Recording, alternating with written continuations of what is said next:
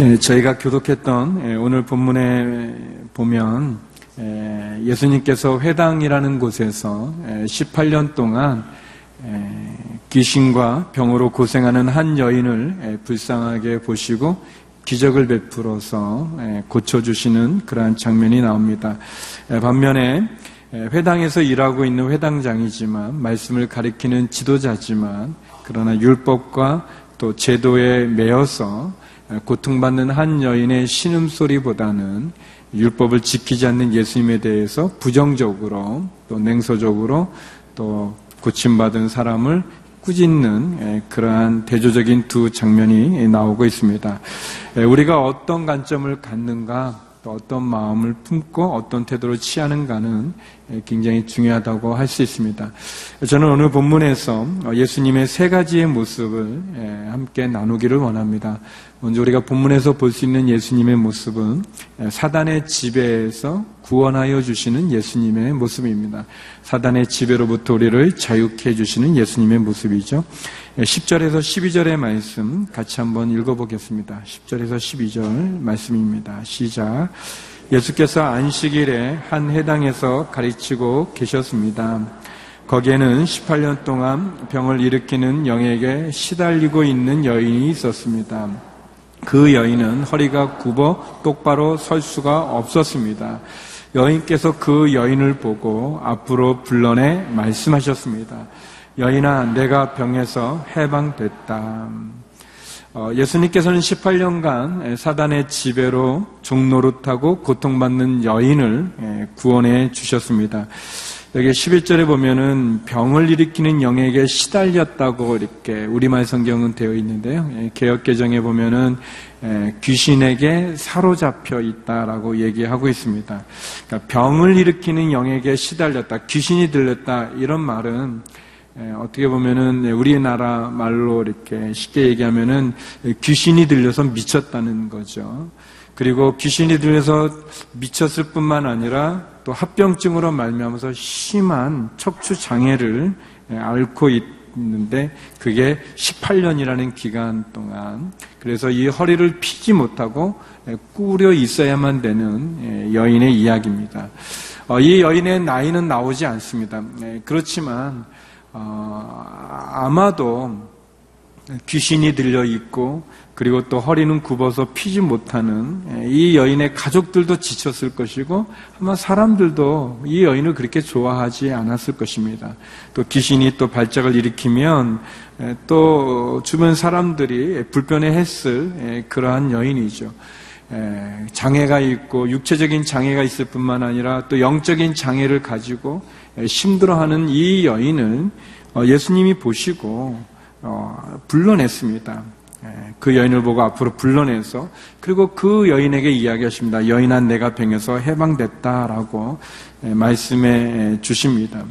예, 어쩌면 어, 이 여인의 모습 속에서 어, 우리들의 모습을 볼 수 있지 않겠습니까?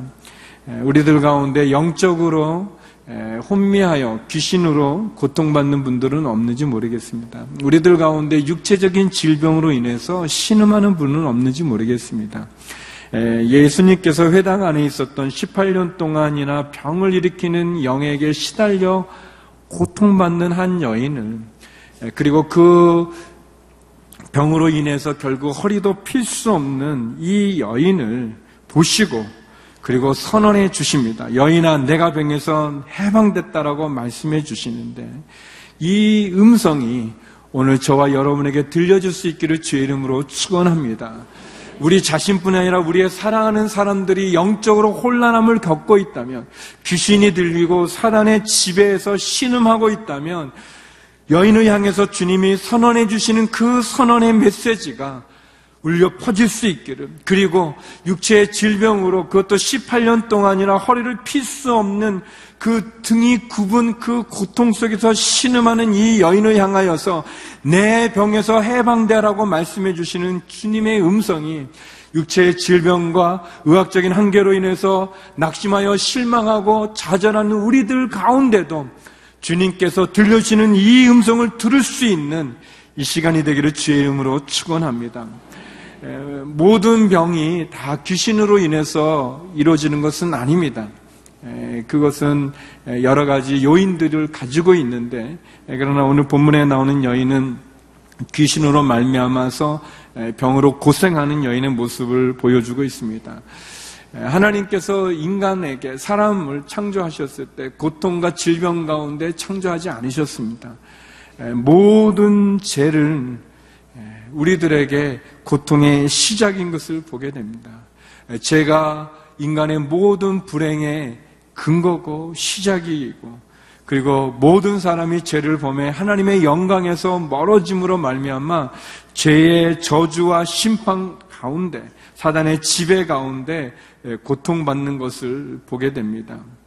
죄로부터 구원을 주시는 예수 그리스도의 십자가의 보혈만이 우리를 죄로부터 사단의 지배로부터 구원할 수 있는 유일한 열쇠가 되는 것을 우리가 보게 됩니다. 로마서 3장 23절에서 24절에는 이런 말씀이 있습니다. 같이 한번 읽어보겠습니다. 로마서 3장 23절 24절입니다. 시작. 모든 사람이 죄를 지었으므로 하나님의 영광에 이르지 못합니다. 그러나 그리스도 예수 안에 있는 구속으로 인해 은혜로 값없이 의롭다는 인정을 받습니다. 모든 사람이 죄를 지어서 하나님의 영광에 이르지 못했다고 그랬습니다. 인간이 가지고 있는 모든 불행의 시작은 죄를 지은 인간이 하나님의 영광에 도달하지 못할 뿐 아니라 하나님의 영광에 머물 수 없어서 그래서 죄를 지은 인간이 그 에덴의 동산에서 나올 수밖에 없는 추방될 수밖에 없는 그것이 우리의 모든 저주와 고통과 불안의 시작이었습니다.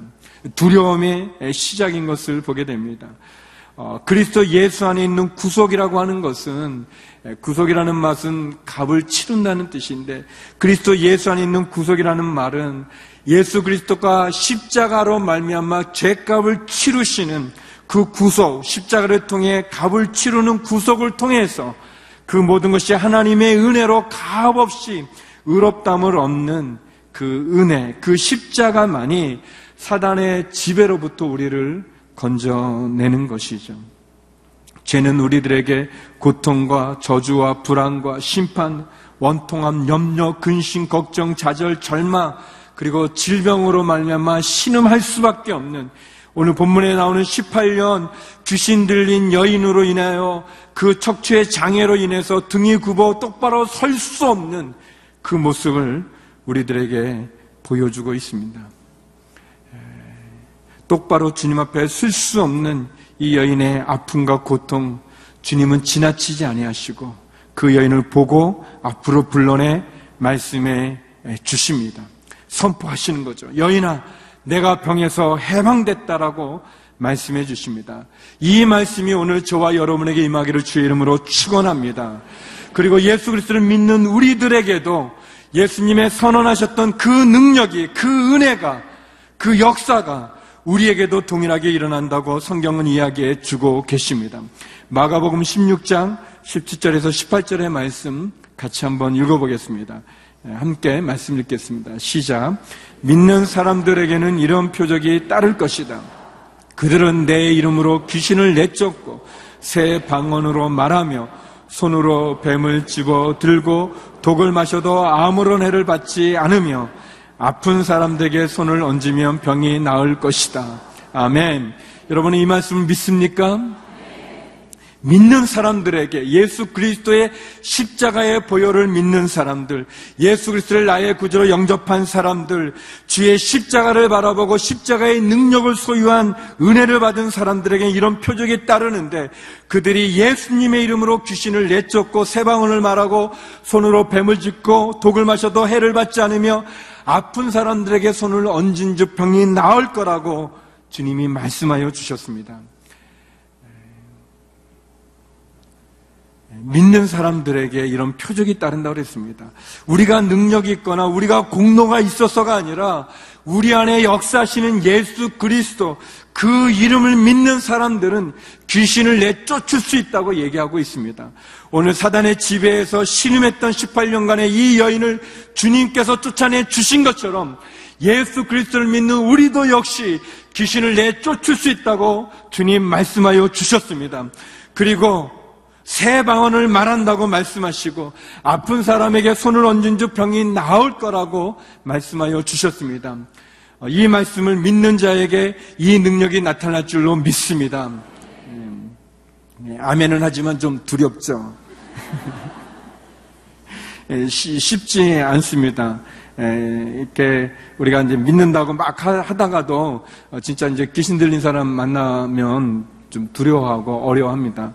뭐 아주 옛날 일인데 중고등부 전도사로 있었을 때 제가 아이들 임원 수련회를 하느라고 저기 기도원에 같이 갔는데 뭐 학생들이다 보니까 뭐 기도도 잘 안 하고 뭐 이렇게 저렇게 딴짓만 하려고 그러는데 어 근데 갑자기 그 예배당 안에 귀신 들린 한 아주머니가 막 소리를 지르고 이렇게 했었어요.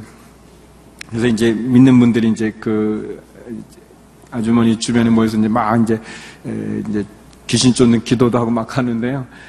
저도 이제 우리 아이들하고 우리 같이 기도하자는데 애들이 얼마나 기도를 열심히 하는지 그 전까지만 이렇게 딴짓하다가 근데 가만히 보니까 그 귀신이 자기들한테 올까봐 얼마나 열심히 하는 이게 어떤 두려움이 있, 죠 우리가 이렇게 고백하지만 두려움이 있습니다. 그러나 사랑하는 성도 여러분, 사단의 집에서 예수 그리스도의 십자가는 우리를 구원하여 주셨습니다.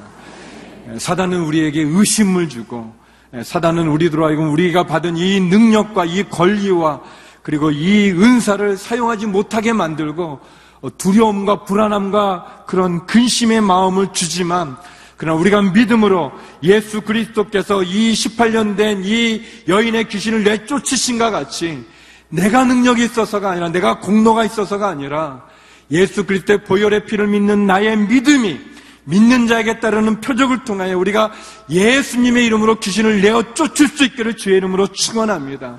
그래서 여러분 담대하게 선포하시고 선언하시고 그리고 믿으십시오. 예, 병자도 마찬가지로 아픈 사람에게 손을 얹으면 병이 나을 거였습니다. 내가 낫게 하는 것이 아니라 내 안에 계신 예수님께서 내 능력이 아니라 하나님의 능력이 나를 통하여 그 환우를 고칠 수 있는 것입니다. 저는 우리의 신앙이 추상적인 거나 지식적인 거나 가상적인 게 아닙니다. 예, 신앙은 우리의 삶입니다. 우리의 신앙의 삶 속에 귀신을 내어 쫓고 병자를 고치는 그런 은혜와 능력의 통로가 될 수 있는 주님의 사람이 되기를 주의 이름으로 축원합니다. 두 번째 오늘 본문은 우리들에게 사단의 저주에서 자유케 하시는 예수님의 모습을 우리에게 보여주십니다. 13절, 14절의 말씀입니다. 같이 한번 읽어보겠습니다. 13절, 14절입니다. 시작. 그리고 예수께서 여인에게 손을 얹으셨습니다. 그러자 여인은 허리를 쭉 펴고 일어서서 하나님께 영광을 돌렸습니다. 예수께서 안식일에 병을 고치신 것에 화가 난 회당장이 사람들에게 말했습니다. 일할 날은 열세나 있다. 그러니 그날에 와서 병을 고치고 안식일에는 하지 마시오. 어, 예수님께서 어, 그 18년 된 등이 굽은 여인을 앞으로 불러내 말씀하실 뿐 아니라 그 여인에게 손을 얹어주셨습니다. 안수하신 거죠. 네, 그러자 여인이 허리를 쭉 펴고 일어나 하나님께 영광을 돌리고 하나님을 찬양했다고 얘기하고 있습니다.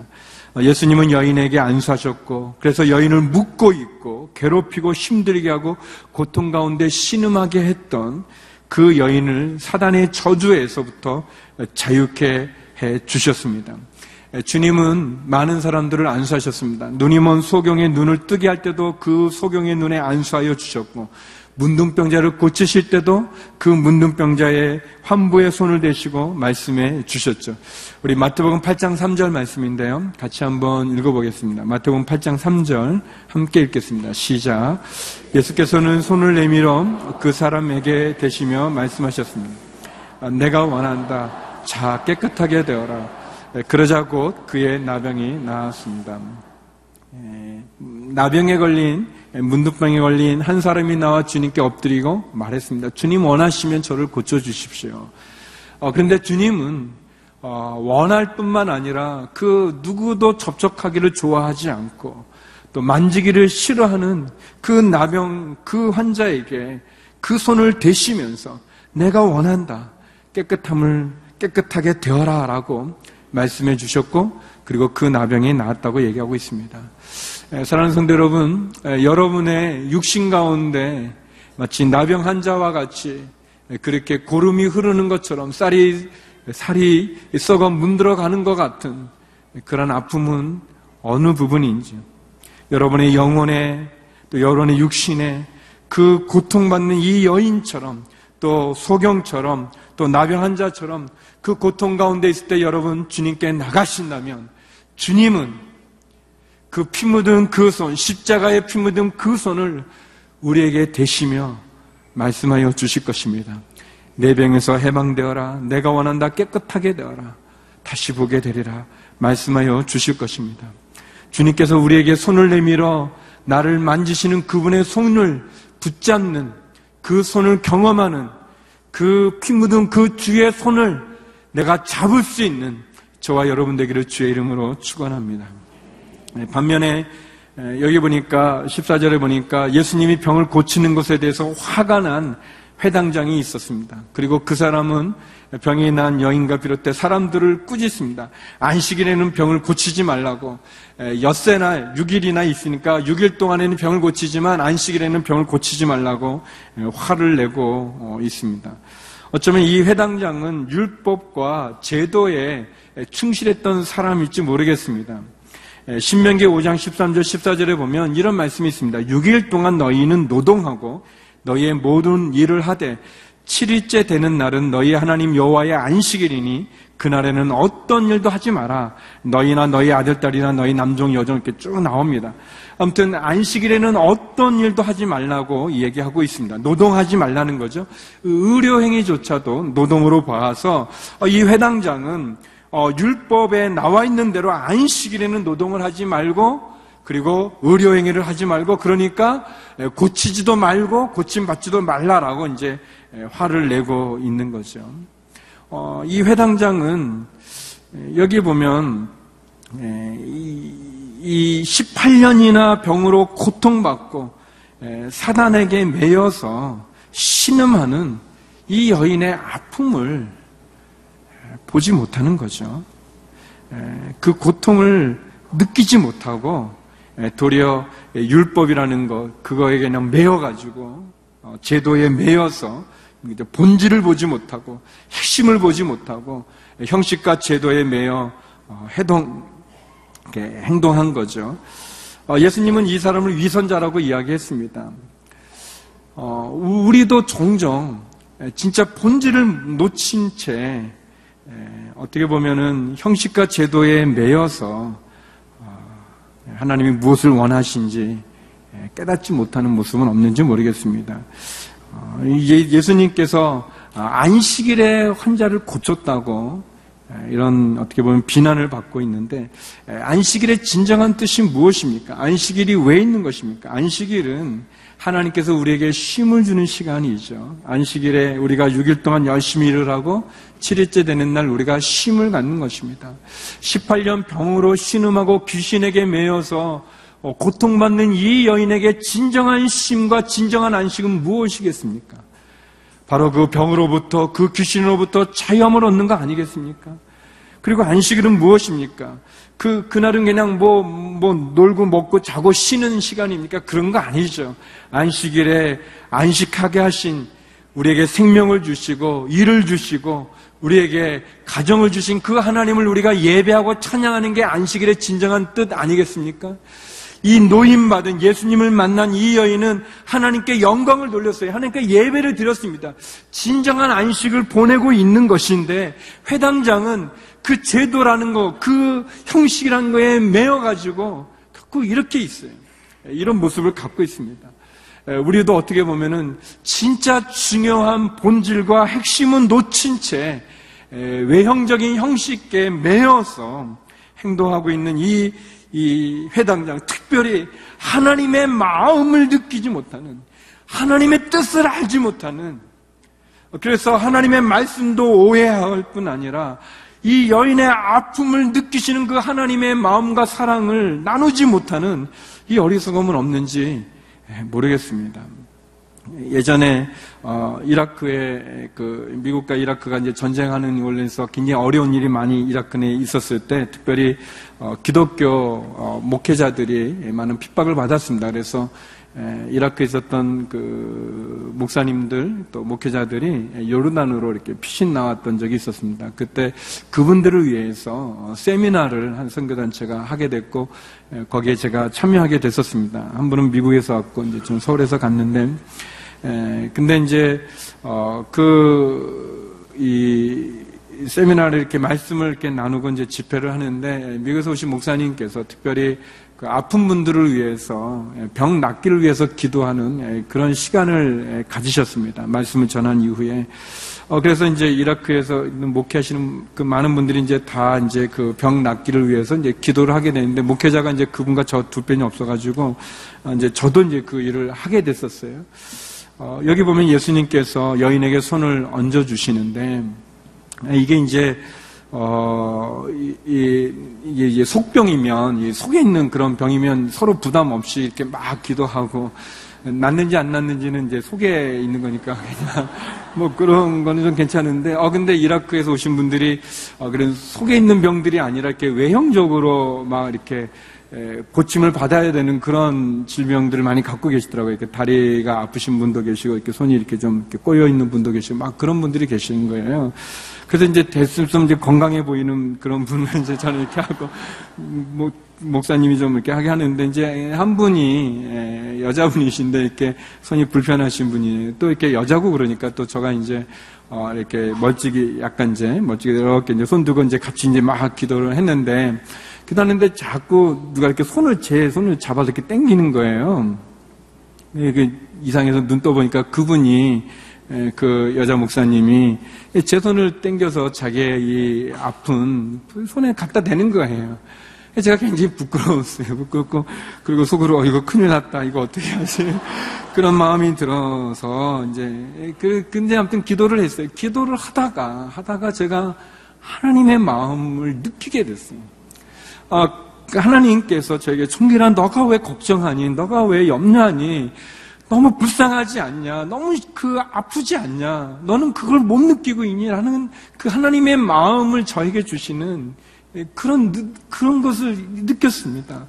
아, 그, 그 아파서 힘든 그, 그 나라도 떠났지만 육신적인 그 고통 가운데 신음하는 그래서 어떻게든 이 한국에서 처음 보는 그 이 목사의 그 손이라도 이렇게 대어서 낫고 싶어 하는 그 간절한 마음을 갖는 그리고 그, 그것을 향한 하나님의 그 애타는 그 마음을 느끼지 못하고 있는 저가 너무 부끄럽게 여겨지면서 그거 하나님의 마음 염려하지 말고 걱정하지 말고 기도하라는 그래서 저희들이 같이 뜨겁게 기도했습니다. 함께 기도를 했어요.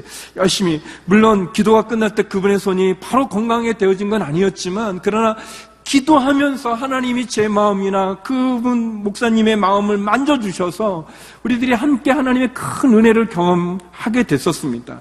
시간이 지나 저는 돌아왔지만 요르단에 있는 선교사님이 나중에 후에 그때 함께 했던 그 집회들을 통해서 많은 분들이 나음을 이었다는 보고도 해주시고 얘기도 보내주셨어요.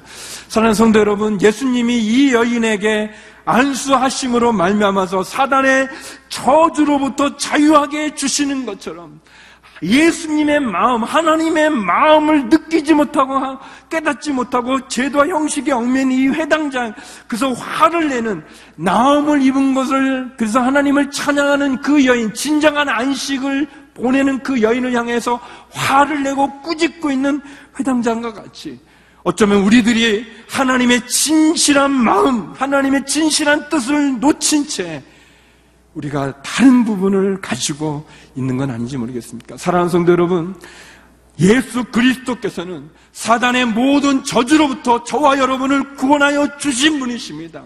십자가는 바로 그 선언이십니다. 더 이상 우리가 사단의 저주의 노예가 될 필요가 없고 더 이상 죄의 노예로 신음할 필요가 없는 것이고 더 이상 사단의 속임수에 속을 필요가 없는 것입니다. 그리고 우리는 하나님의 마음, 하나님이 우리에게 가지고 계시는 그 뜻을, 그 마음을 알아야 될 것입니다. 세 번째, 오늘 본문은 우리들에게 사단의 매임에서 풀어주시는 예수님의 모습을 우리에게 보이겠습니다. 우리의 묶임으로부터 풀어주시는 예수님의 모습이죠. 15절에서 17절의 말씀 같이 한번 보겠습니다. 15절에서 17절입니다. 함께 읽겠습니다. 시작. 주께서 그에게 대답하셨습니다. 이 위선자들아, 너희가 각각 안식일에 황소나 나귀를 외양간에서 풀어내 끌고 나가 물을 먹이지 않느냐? 그렇다면 아브라함의 딸인 이 여인이 18년 동안이나 사단에게 매여 있었으니 안식일에 이 매임에서 풀어주는 것이 당연하지 않느냐? 예수께서 이렇게 말씀하시자 그를 반대하던 사람들이 모두 부끄러워했습니다. 반면에 다른 사람들은 모두 예수께서 행하신 모든 영광스러운 일을 보고 기뻐했습니다. 예수님은 우리의 영혼의 의사이기도 하십니다. 사단에게 매여 있는 이 여인을 풀어주셨어요. 그리고 참된 안식의 은혜를 베풀어 주셨어요. 그러나 회당장은 형식과 제도에 매여 예수님을 이해하지도 못했고, 그리고 고통과 아픔과 매면서 풀어난 이 여인을 알아주지도 않았습니다. 그래서 꾸짖은 거죠. 그래서 예수님께서는 위선자라고 얘기하셨습니다. 어, 왜냐하면 외양간에 있는 그 황소나 나귀가 그 밤새 묶여 있었다고 해서 아침이 되면 그날이 안식이려도 묶여 있었다고 그 묶임을 풀고 매임을 풀고 나와 물을 먹이고 있으면서 정작 사단에게 18년이나 묶여 있는 고통받았던 이 여인을 안식일에 풀어줬다고 해서 야단을 치고 꾸짖는 것, 외식하는 것과 같은 거죠. 어, 성경에 보면 예수님이 안식일에 많은 사람들을 고쳐주셨는데 안식일에 고쳐준 것으로 인해서 예수님 많은 핍박을 받았습니다. 요한복음 5장 16절 17절 말씀인데요. 같이 한번 읽어보겠습니다. 요한복음 5장 16절 17절입니다. 시작. 예수께서 안식일에 이런 일을 행하셨기 때문에 유대 사람들은 예수를 핍박했습니다. 예수께서 그들에게 말씀하셨습니다. 내 아버지께서 지금까지 일하고 계시니 나도 일한다. 어, 예수님이 안식일에 고쳐진 걸로 인해서 많은 사람들은 예수님이 안식일에 고쳤다. 안식일에 의료행위를 하면 안 되는데 의료행위를 했다는 거기에 매어서 예수님을 핍박하고 있습니다. 그러나 예수님 그들에게 말하죠. 아버지가 일하시니 나도 일한다라고 말씀하여 주셨습니다. 예수님, 하나님, 그날이 안식일이든 그날이 일하는 날이든 하나님 앞에 나오는 그 영혼, 그 자비와 은혜와 국류를 찾으며 죽게 나오는 그 영혼을 향해서는 하나님 누구든 고쳐주시는 분인 것을 보게 됩니다. 그러나 사단은 그렇지 않죠. 사단은 끊임없이 상기자를 사주면서 어떻게든 믿음의 사람을 유혹해서 무너뜨리려 합니다. 그것이 죄라는 것을 통해서 죄를 짓게 만들고 죄 속에 신음하게 만들고 죄로 인해서 심판받게 만듭니다. 사단은 끊임없이 믿음의 사람들을 죄를 짓게 할만 하려고 하고 속이려고만 하게 합니다. 그래서 죄라는 것을 통해서 그 사슬로 사람들을 묶어 놓습니다. 매어 놓습니다. 어, 마치 이개그이 못줄이 있어가지고 어느 정도 가다면 다 걸리는 것처럼 더 가지 못하게 만드는 것처럼 하나님 안에서 예수의 십자가 보혈의 피로 자유함을 누려 가야 되는데 이 죄라는 사슬로 우리를 묶어서 우리를 얽매어서 꼼짝달싹 못하게 만드는 것이 사단입니다. 우리가 사단에 대해서 두 가지를 경계해야 되는 그런 생각인데 하나는 사단은 없다는 귀신은 없다는 것입니다. 하나님이 사단을 만들 리가 없다는 것입니다. 그러면서 사단의 존재를 귀신의 존재를 인정하지 않는 모습인데 물론 하나님 사단을 창조하지 않으셨죠. 하나님은 지혜 천사를 창조했을 뿐입니다. 그러나 그가 교만하여 하나님을 대적했을 때 그것이 사단이 되어진 거죠. 그러나 현실에서 사단은 존재하는 거죠. 또그 어, 그 사단은 또 너무 능력이 크기 때문에 우리는 사단을 이길 수도 없고 사람은 죄를 안 짓고 살 수 없기 때문에 그냥 죄를 지을 수밖에 없다면 그냥 편하게 죄를 짓자 마음껏 죄를 짓자 내가 하고 싶은 대로 하자라는 그렇게 막 가는 그러한 견해입니다. 두 가지 다 옳지 않죠. 예수님의 십자가는 어, 이런 모든 것을 승리하고 이 예수님의 십자가를 부인하는 그 사단의 그곳에부터 우리를 정해줍니다. 로마서 8장 13절에 보면 아주 중요한 말씀인데 같이 한번 읽겠습니다. 로마서 8장 13절 말씀입니다. 시작.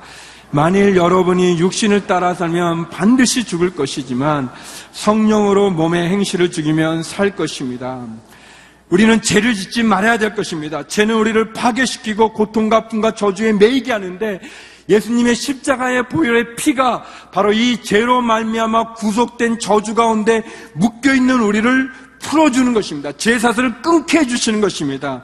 예수님의 이름으로 우리에게 묶여 있는 죄 사슬을 끊을 수 있습니다. 우리가 우리를 묶고 있는 죄 사슬에부터 그 반복되어지는 죄 습관으로부터 우리가 자염을 얻을 수 있는 길은 예수님이십니다. 사단의 집에서 구원하시는 예수님, 사단의 매임에서 우리를 풀어주시는 예수님, 사단의 저주로부터 우리를 자유케 하시는 예수님, 그 예수님으로 인해서 우리도 다시 한번 주의 십자가를 알으며 승리하는 저와 여러분들에게 주의 이름으로 축원합니다. 기도하시겠습니다. 사단의 지배와 매임과 저주로부터 자유케 하시는 예수님의 십자가 바라보고 그 십자가 능력을 심입어 승리하는 자유하는 저희 모두가 되게 하여 주시옵소서. 예수님 이름으로 기도드립니다.